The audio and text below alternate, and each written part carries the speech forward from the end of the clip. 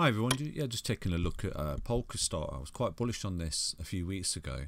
I did mention it when it was uh, down here at like two dollars, um, but I never did a video about it. Um, I did buy in down here, and I rode it all the way. Up. Obviously, it, it, peaked out, but from the looks of it now, I'm going to do a video today. Obviously, um, from the looks of it now, it's it's forming something called a, a falling wedge, which is actually quite a bullish pattern, guys. It's a reversal pattern.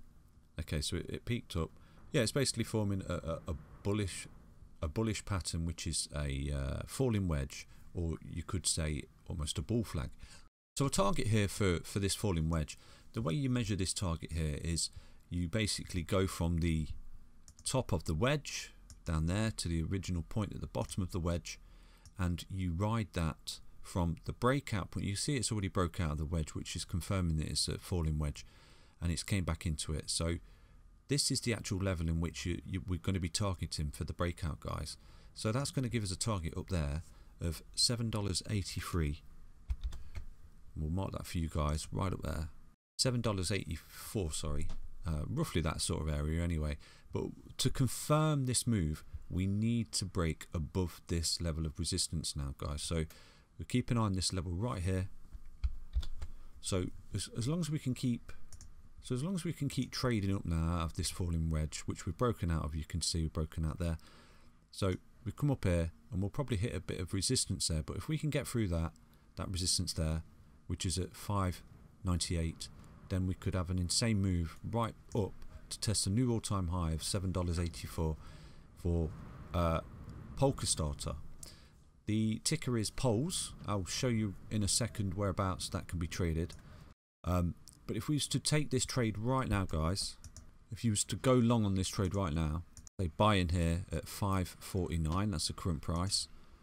Set yourself a small stop loss coming back in to this just below in the wedge just there just above the wedge set yourself a small stop loss and you could ride this all the way up to the top there and that's a 42% trade guys so again if you if you use a leverage platform you could get 10x that. So that would be a 420% trade. That's a 4x on any investment.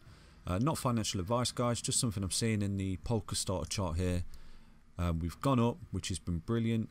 We've hit this top and now we're coming down and we're forming something which is called a, a, a, a falling wedge which is just a, basically a retest of support and then we break up to the upside yeah sorry about that I had to go away for a minute you won't even notice but um, we've gone up basically and uh, we're forming what looks to be a falling wedge or a, a kind of bull flag if you look and we look like we're breaking out. So what we've done we've come down tested it the support down here you see? There's a bit of a scam wick down there that just probably liquidated some longs um, and we're coming down see the volume is decreasing here as well which is an indication of a breakout as well guys. Keep an eye on that. Um, but we've come we've we've broke out of the wedge. We've come back down and as you can see we're testing it now and we're actually breaking back out. So the levels we're eyeballing here is is a key area is from the top of the wedge down to the initial touch of the bottom and the area you want to be targeting is the breakout there from the top of this where it's broke out and come back down. So as soon as we get to that that will be a confirmation of a breakout. So we mark that price there.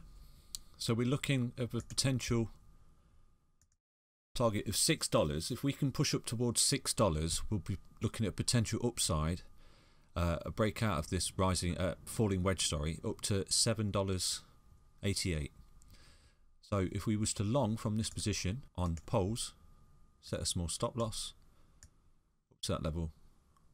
Again you will be looking at a 40% trade there guys on POLS so it's just a quick update on POLS something that I'm seeing in the charts there is this falling wedge which is a bullish continuation pattern bringing up the EMAs on um, POLS as you can see we, have gone up there being supported, we dipped under it a bit, being supported, supported, supported, supported, supported, went up there, came back down, tested it. We actually dropped below the EMA there, which was very bearish. You see we dropped right down, came back up, tested it, came out a little bit there, fell back down. We've come back up, tested it, and now we've actually come out twice here. And we're just breaking out above the EMAs right at the moment. So again, as long as we can maintain this bullish trajectory here on POLS, this may be the local bottom right there. So we may never see, I'm not saying may never, but we could potentially say that 472 is the, the bottom of this move right now for POLS because this looks insanely bullish now guys. This looks like it's just going to do this and break up to the upside to a target. So that's a target and we'll probably just creep up towards it now guys for POLS because the Pol Polka ecosystem is is doing really well at the moment. It is blowing up. So you know anything to do with the Polka ecosystem is is doing really well as as is the Binance smart chain ecosystem. So again we, we, we are insanely bullish across the board guys on uh, Bitcoin Ethereum uh, crypto projects in general. So everything's still good. So there's still a lot of progress to be made. These pullbacks are perfectly healthy in this bull market. You will see it. You know don't get scared. You will see as pullback and test the EMAs and retest and then get above and, and continuation. So yeah, this is just a move, a potential move that I'm seeing in the Polkastarter space, guys. So a breakout from this point to a target point of seven dollars eighty-eight uh, in this continuation pattern. For we're currently on the hourly. We'll switch to the four hourly time frame.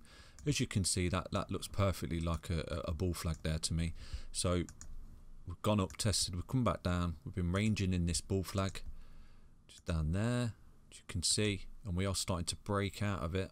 Hopefully, it looks like a breakout is imminent. So again, you will target, it's from the top there to the breakout, I would say is potentially there. So you see it dipped and then broke up. So if we say we break out from this point, then yeah, that's perfectly lining up with our target there, guys. You can see that.